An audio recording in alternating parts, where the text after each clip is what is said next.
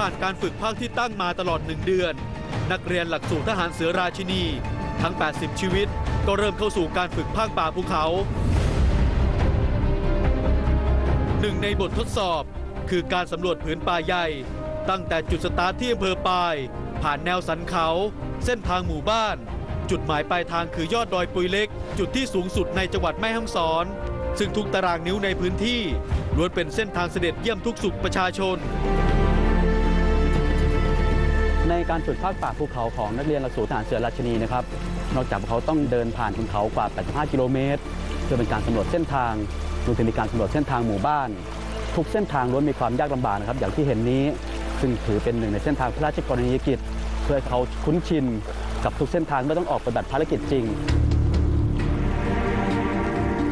ภารกิจนี้ครูฝึกให้เวลา 4 วัน ต้องถึงเส้นชัย ด้วยระยะทาง 85 กิโลเมตรในแผนที่ แต่ตลอดเส้นทางในผืนป่า นักเรียนต้องเดินผ่านสันเขา ตัดลำธารลัดเลาะแนวพงไพ่รวมระยะทางทั้งสิ้นกว่า 150 กิโลเมตร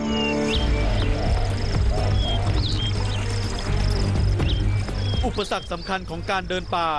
คือสภาวะร่างกายขาดน้ำจากสภาพอากาศร้อน และเส้นทางที่ยากลำบาก ต้องขึ้นลงเขาหลายลูก จนทำให้ครูฝึกเกิดอาการหัวใจบีบ เลือดเลี้ยงสมองไม่พอ หน้าซีดอย่างเห็นได้ชัด นักเรียนต้องช่วยกันทำเป และหามครูฝึกลงจากเขา เพื่อส่งต่อให้ทีมครูฝึกในพื้นที่ราบนำตัวส่งโรงพยาบาลต่อไป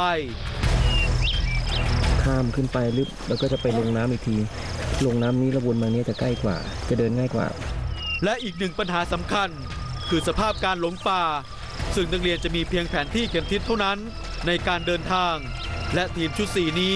กำลังหลงกับเพื่อนๆอีก 3 ทีมกลางผืนป่าทำให้ต้องการแผนที่หาเส้นทางถูกต้องอีกครั้งแต่โค้งน้ำเนี่ยมันเบี่ยงไปซ้ายมันไปหักศอกสองขยักแต่มันก็ไปชนกับที่เราจะไปเหมือนกันทางเนี้ยมันมันโล่งอยู่แล้วเราไปได้ต้องลงน้ำอะไรโอเคเดี๋ยวตัดสินใจให้ไปทางนี้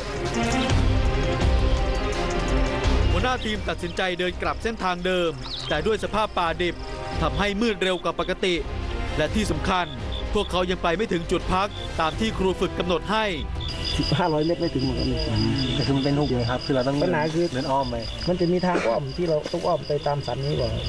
หลังจากที่เดินมาตลอดทั้งวันนะครับ เมื่อหลงเส้นทางทำให้ในการเดินทางกลับไปยังจุดที่หมายของคืนวันนี้ค่อนข้างที่ยากลำบากนะครับ สุดท้ายต้องตัดสินใจเดินต่อไปท่ามกลางความมืด ซึ่งทุกคนต้องเดินเท้าต่อเท้า เพื่อป้องกันการพัดหลงป่าและตกจากสันเขา อัครพงศ์นครแก้ว รายงาน